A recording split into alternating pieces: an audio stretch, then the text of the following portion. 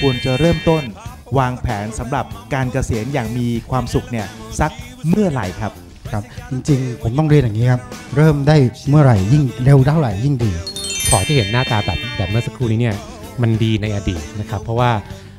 สิบปีที่ผ่านมาเราอยู่ในภาวะที่ดอกเบี้ยมันอยู่ในขาลง เพราะฉะนั้นเนี่ยเราก็เลือกพอร์ตที่มันค่อนข้าง conservative เนี่ยดีกว่ามึงได้เงินมาชัยวัดมึงได้เงินมาเดี๋ยวจำชัยวัดอะ ให้แบ่งเป็นสี่ส่วน ส่วนที่หนึ่ง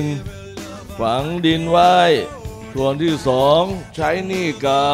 ส่วนที่สามใส่ปากงูเห่า ส่วนที่สี่